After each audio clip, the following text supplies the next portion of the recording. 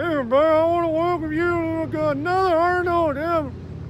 I'm just kidding. Don't you hate the muffled voices with these things? Hey, I want to invite you all to another restaurant night out benefiting the ministry of our school at Village Tavern and Grill. It is yet another one of our Schaumburg staples, another local business that we need to support.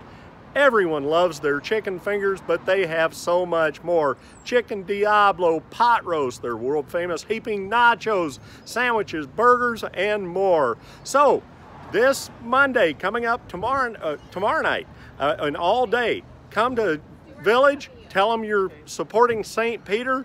You can bring one of the flyers that you can find in our entryway or on our website and uh, just make sure they know that you're a part of St. Peter's Restaurant Night Out. And it will be a blessing to us and a blessing to you and a blessing to them as we support our local businesses.